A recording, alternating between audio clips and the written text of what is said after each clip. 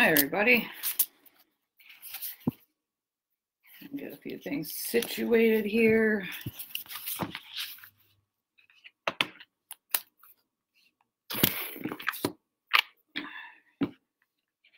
Wait a minute till 12 o'clock. I got on a minute early here, but get started in just a moment.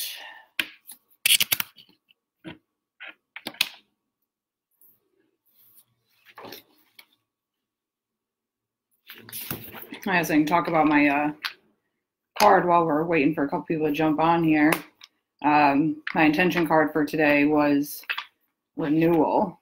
Um, I haven't really thought too much about it. I guess, you know, one of the things I can relate to when I hear that word is all the different stages I've been through in my life and, you know, more importantly, during my sobriety, um, all the different renewal phases that I've gone through throughout this last year and a half, um, you know, and I'm in one right now. I think we all are, in a way, in a stage of renewal. You know, I think I really think that we're gonna come out of this time that isn't necessarily ideal with a lot of gratitude for things that we've, you know, taken for granted in our lives. So I, I choose to look at this stage that we're in right now, in this quarantine isolation period, you know, the unknown and the fear, as a stage of renewal. You know, um, we can we can definitely come out of this better than we went in you know? Um, so just food for thought renewal for the day. Um, but all right so i'll get started here. We are reading from this book again today. Um, it's the gifts of imperfection by brene brown. Um, and i kind of looked through it a little bit today and i decided to talk about um, a chapter that she calls cultivating a resilient spirit so the touch points that I'm going to hit on within this chapter, it's super long. I would never sit here and read it during this whole thing, but um, the touch points are uh, talking about resilience um, and what that looks like, and then also talking about hope and powerlessness that come along with that too. And all of this is part of cultivating that resilient spirit um, and letting go of numbing and powerlessness. Um, so I'll start out with a quote that's right in the beginning of the chapter. Um, and it says, She could never go back and make some of the details pretty. All she could do was move forward and make the whole make the whole beautiful. That's a quote from Terri St. Cloud. Um, and I really like that. You know, I highlighted it in the beginning here um, because, you know, that a lot of us get stuck in the thinking about the past and, you know, things that we've done in our lives and thinking that we are not good enough because of things that we've done you know, and what our past looks like. And, you know, there's nothing we can do about that. And that that's what I like to call a nice little wormhole that I can get sucked in and I can't get out of sometimes, you know, and all I can do is put one foot in front of the other and work toward living my life differently than I lived before. Um, you know, and I was kind of just touching on that when I was talking about renewal a minute ago.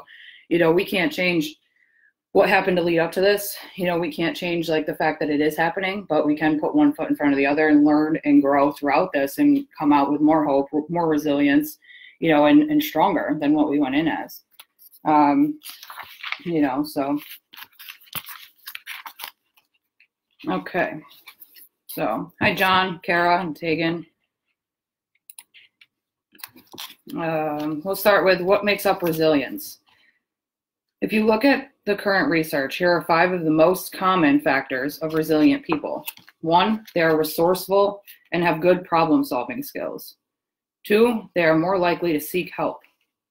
Three, they hold the belief that they can do something that will help them to manage their feelings and to cope. Four, they believe or they have social support available to them. And five, they are connected with others, such as family or friends. Of course, there are more factors depending on the researchers, but these are the big ones. I think, you know, when I read this first this morning, I think that we all can relate to a lot of these five points that are here. They're resourceful and have good problem solving skills. No matter what our lives have looked like, when we're put in difficult situations, it's our baseline to figure out what we can do to survive throughout it, you know, and looking to resources that are available to us to get us through to the next phase, you know, or just maintain during that period of time um, they're more likely to seek help. You know, how many times in our lives have we reached out to people, our loved ones, or support networks, you know, and reached out to people? I know I do frequently. Um, they, they hold the belief that they can do something that will help them manage their feelings, their feelings and to cope. You know, and this is something that, you know, maybe not always looks the best, but we always, I find, you know, in my experience that I always found a way to manage and cope. You know, and at one point that didn't look great, but I still was doing what I what I thought I knew how to do and coping throughout it. You know, so I was still resilient throughout that process. Um, they have social support available to them. You know, and in in the time that we're in right now, we're I think we're all realizing how much social support we actually have. You know, we're not able to leave and go see these people in person, but we have all of these tools right in front of us and this huge network in the Rochester community and it's expanding, you know, further than we thought that it would, you know, and we we have that social support right there, right at our fingertips. They're connected with others, such as family or friends, you know, and again, touching on the same point, we're all staying connected throughout this, even though it, it's not ideal or it's not what we are used to. We're still pulling through and we're, we're still showing up. You know, you guys are showing up watching these videos. Um, we're showing up and doing them. We're, you know, reaching out to people through Zoom calls or text messages or FaceTime. You know, we're doing all of that. Um, so each one of us are resilient throughout this. And, and yes, it looks different for every person, but we all are meeting these criteria, I guess. Um, also, throughout this, I will be talking a little bit, like she touches on a little bit of spirituality. So I wanted to give a brief, like, definition of what she describes spirituality as. Um, and she says, she says, by spirituality, I'm not talking about re- religion or theology, but I'm talking about a shared, deep, shared and deeply held belief. Based on the interviews, here, here's how I define spirituality. Spirituality is recognizing and celebrating that we are all inextri- inextricably connected to each other by a power greater than all of us, and that our connection to that power and to one another is grounded in love and compassion. Practicing spirituality brings a sense of perspective, meaning, and purpose to our lives. So pretty much like what we're talking about here when we talk about spirituality is just connection, you know, to each other and knowing that, you know, whatever's working in our lives is more than us, you know, and that that that's our community. It's greater than we are. Um, so I just wanted to touch on that before I got into some more of this reading here. Um, and anybody has any comments or concerns about spirituality and stuff, we can talk about that too. Um, and in here she goes, you know, we talk about resilience and then we start to talk about a little bit more of the hope and powerlessness. And I like to touch on, I like to touch on hope because of the fact that we keep talking about this is a common theme in our videos that we've been doing lately is finding hope throughout all of this and giving each other hope and keeping us connected because the only way that we're going to get through this is together you know we're not we're not able to do it alone most of the time like you know we end up in a very dark place, you know. So coming out of this, we come out it together, you know. And as a society, the only way that we're ever going to get through it in general is together. Um, so I like to talk about, you know, hope. And like when I was flipping through this book here this morning, you know, going through the different topics that she talks about in the entire book, like those those are the ones that stuck out to me. The ones that I talked about yesterday with compassion, you know, and hope and cultivating a, res- a, resilient spirit and then gratitude and joy you know these are these are things that kind of take our mind off the chaos that's happening out there and give us something to live with or live, something to live with intention through today with you know to actually have a goal through the day um, and start to give things back to people. Um, and that's that's the hope that we're sharing. All right so she goes on to talk about hope and powerlessness uh, as a researcher, I can't think of two words that are more misunderstood than the words hope and power. As soon as I realized that hope is an important piece of wholehearted living, I started investigating and found the work of C.R. Snyder, a former researcher at the University of Kansas, Lawrence. Like most people, I always thought of hope as an emotion, like a warm feeling of optimism and possibility. I was wrong. I was shocked to discover that hope is not an emotion. It's a way of thinking or a cognitive process. Emotions play a supporting role, but hope is really a thought process made, process made up of what Snyder calls a trilogy of goals, pathways, and agency. In very simple terms, hope happens when, first, we have the ability to set realistic goals. I know where I want to go. Second, we are able to figure out how to achieve those goals, including the ability to stay flexible and develop alternative routes. I know how to get there, I am persistent, and I can tolerate disappointment and try again. And last, we believe in ourselves. I can do this. So, hope is a combination of setting goals, having the tenacity and perseverance to pursue them, and believing in your own abilities. You know, and we're here and we talk to you guys every day, you know, about hope and believing in each other. But at the same time, you know, the baseline to that is believing in yourself, you know, and we've touched on it in a plethora of different forms over these videos with self compassion and self care and self love and positive affirmations. And uh, Yana touched on last night the way that our brain works, you know, with the shoulda, coulda, wouldas um, and stuff like that, you know. And all of that is a foundation to the hope. You know, it's not just that warm, fuzzy feeling I get when I watch a video and I get inspired. You know, it's the thought processes that are going on in my head that I can now manifest those feelings into reality you know, I can now manifest them in a way that I'm starting to take those little practices that we talked about yesterday and taking the action into um, turning those thoughts into my reality.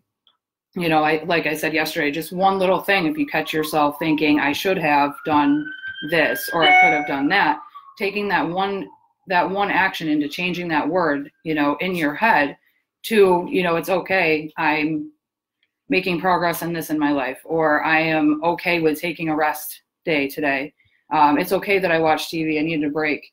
You know, just that one thought process is, is taking the action that, you know, is the foundation to our hope and to our, you know, progress in life and making those changes.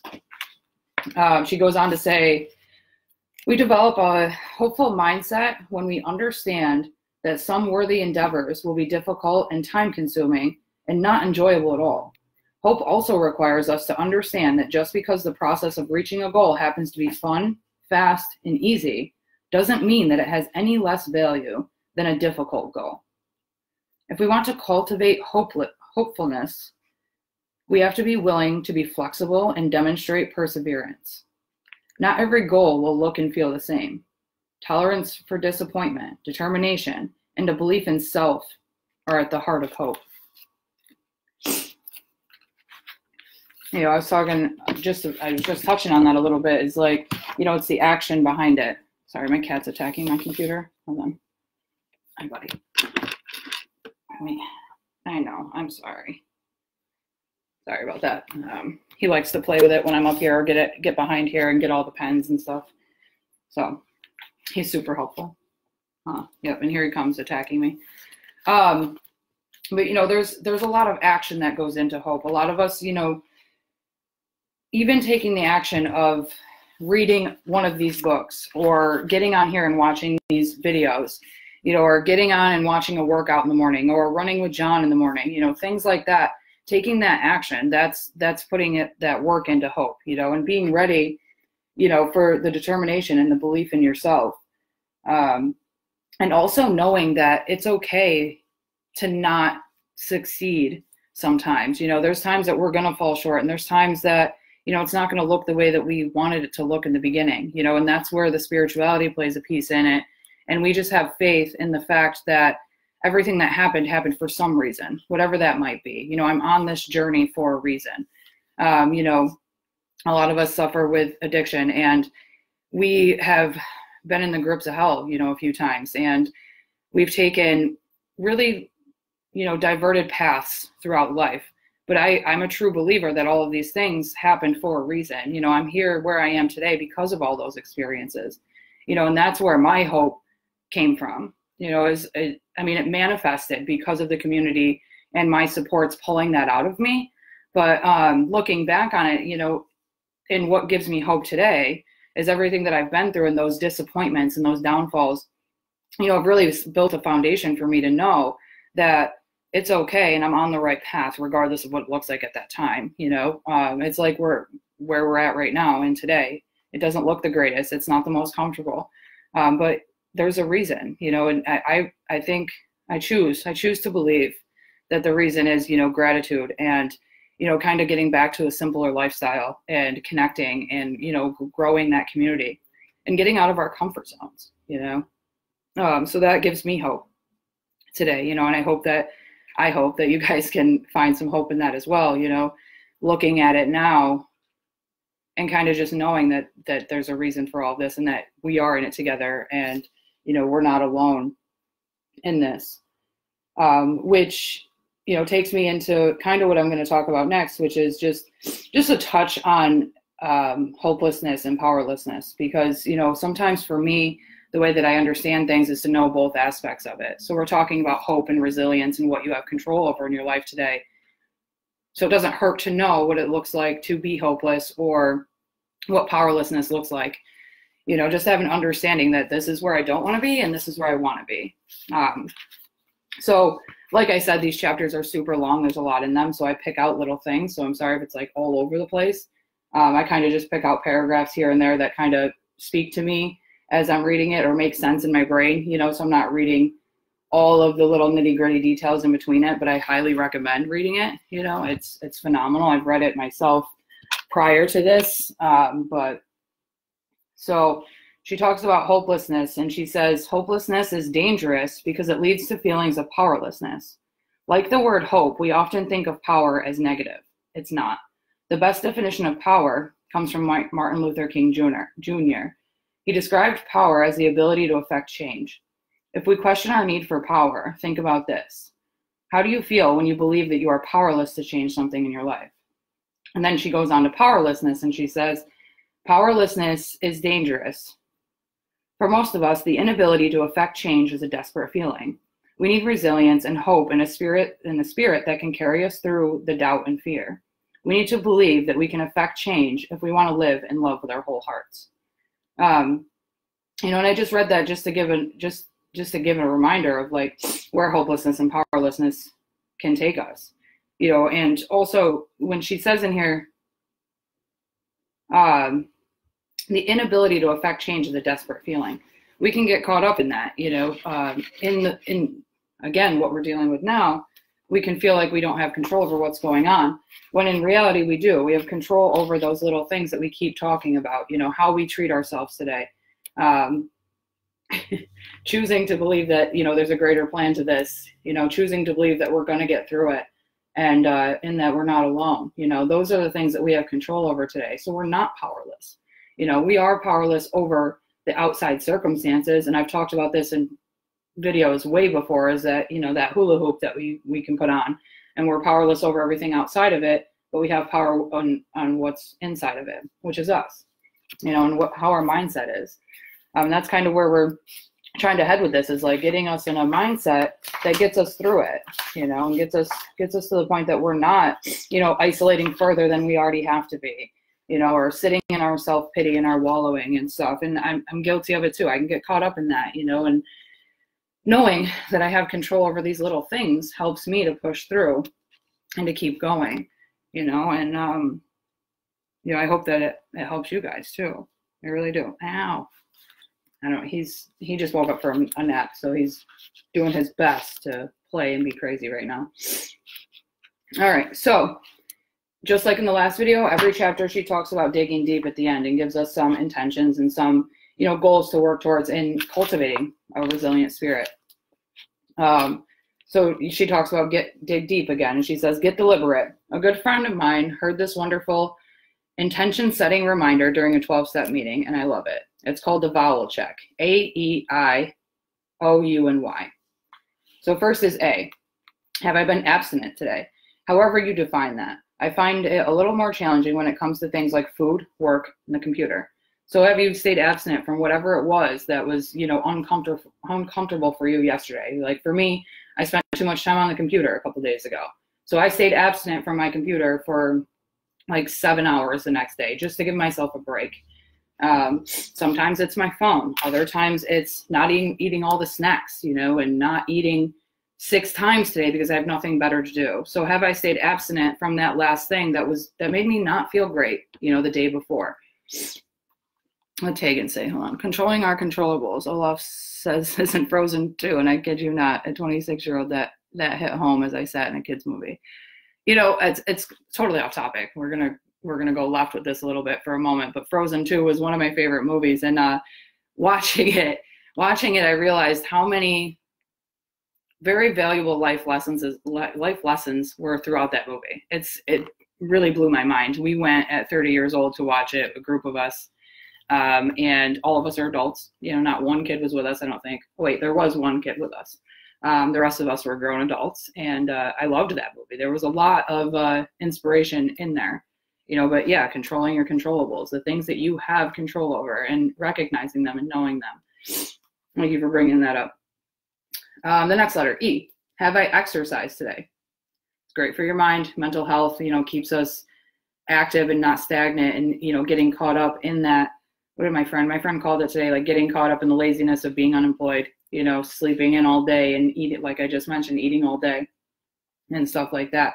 You know, so getting up and just going for a walk or doing some crunches on my living room floor, you know, things like that, that just keep my blood moving and keep my brain um, away from those dark places that I can go sometimes. Oh, what have I done for others today? Or no, sorry, I. What have I done for myself today? You know, that's self that's that self care piece that we're talking about. You know, whether it's going for that walk, uh, meditation, you know, going for a run or playing video games, you know, watching Netflix, playing with my cat, you know, whatever it might look like for you. Um, and that's okay, whatever it is, you know, even if it's a nap or something you know a lot of people put these shoulds on on themselves a lot. Like i should be up doing this i should be up doing that but only we know you know what what we're feeling and what we're going through. Um you know and, and only we know like what made us not comfortable. You know whether it was yesterday or a few hours ago or something you know and we can make that change and do something a little bit different you know just to just to feel a little better about ourselves. Um, and I think that's really important. You know, we talk about recovery all the time, and this is I'm kind of going left with this too, but it just popped into my head. But like recovery fitness, you know, when I'm out in the community and I'm presenting to people, or people tell me, you know, we present at colleges and stuff like that a lot, and in those areas, people aren't as receptive, you know, because they hear the word recovery and fitness, and they're completely shut down. You know, people hear the word recovery and they think it's just alcohol and substances, or you hear abstinent and your first thought is i don't do drugs you know but that's not what we're talking about here recovery is everything you know whatever that is that helps you to feel better about yourself or live a different a different way you know um, a lot of people do talk about exercise or food shopping you know i have a huge problem with shopping you know and that's my, my recovery is holistic it's not yes i i do suffer from substance use disorder but you know, my recovery isn't just that. That was the tip of the iceberg. You know, for me, it's a lot more about, you know, my self worth and, you know, my hope and my resilience and, you know, little things that I do that are detrimental to that, which are, you know, emotions and, you know, decisions I make when I'm in those emotional states and stuff like that. You know, it's, it really is all encompassing. Um, so, next one. Uh, what have I done for others today? That was the O. So I find, you know, a lot of my mom, my mom is struggling with smoking cigarettes right now. Like she's quitting or quit and she's trying to maintain that. And she called me the other day and she was, you know, really struggling with just obsessing about smoking a cigarette. And the first, the only thing that I could tell her that has been helpful for me was, you know, pick up the phone and talk to somebody. Don't talk about you and what you're going through. Pick up the phone and ask somebody how they're doing and just listen to them. And I promise you, by the end of that phone call, you're not going to be thinking about a cigarette you know, and if it happens again, do it again.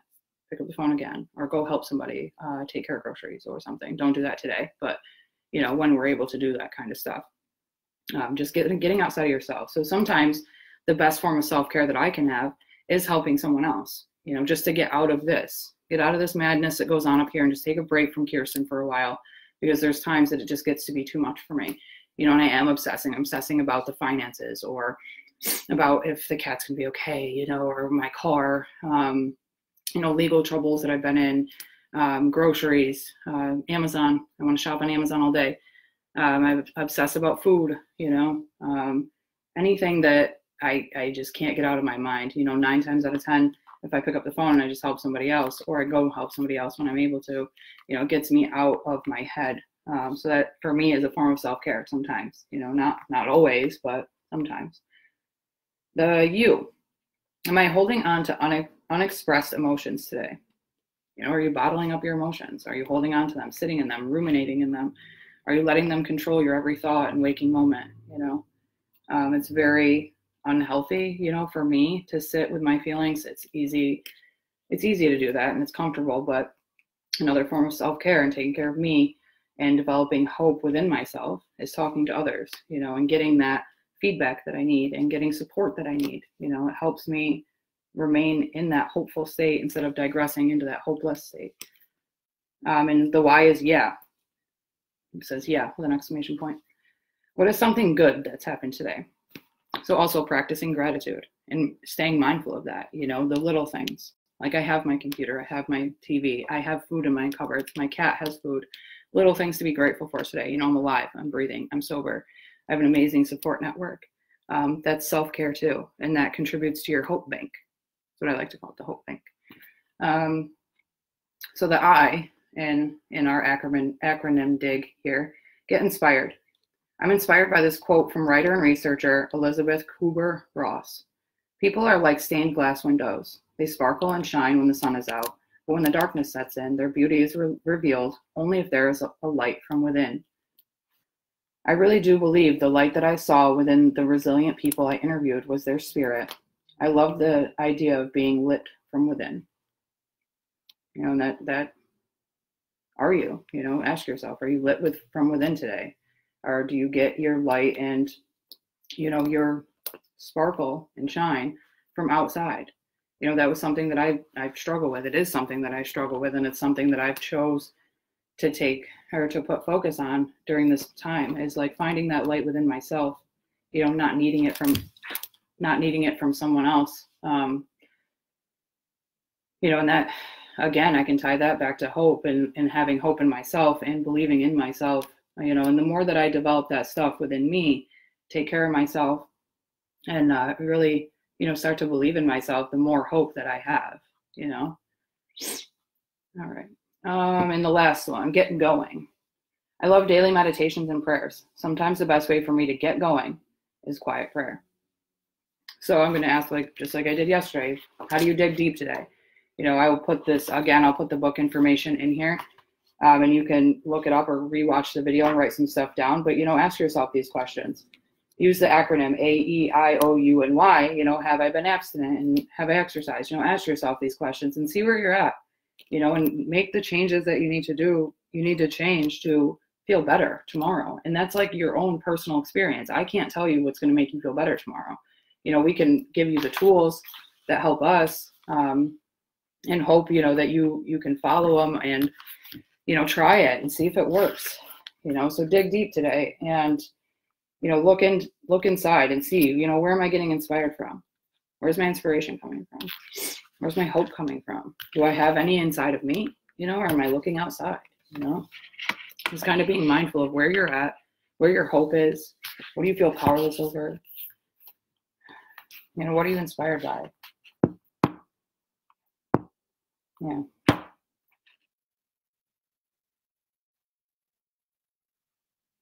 I really like this reading.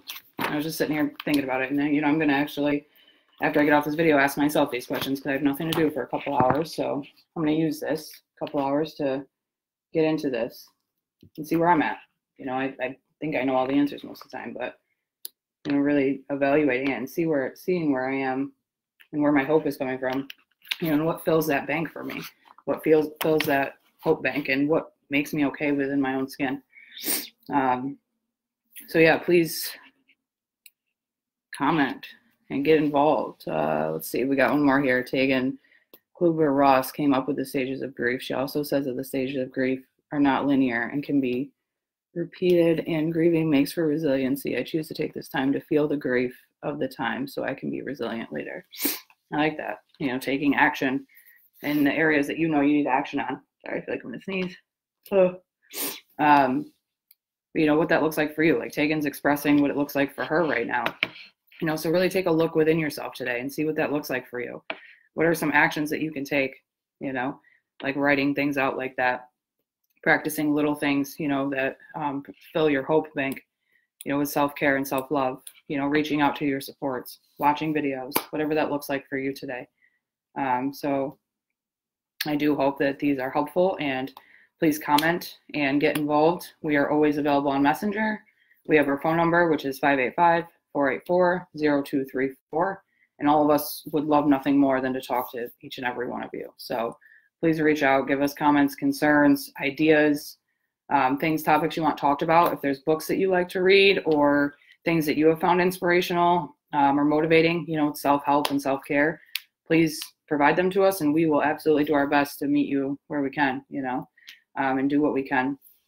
So, absolutely. Me and Serenity are leaving now. Hi, see, he's full of vinegar today. So, all right, I'm going to head out and I hope to hear from all of you. Have a good day.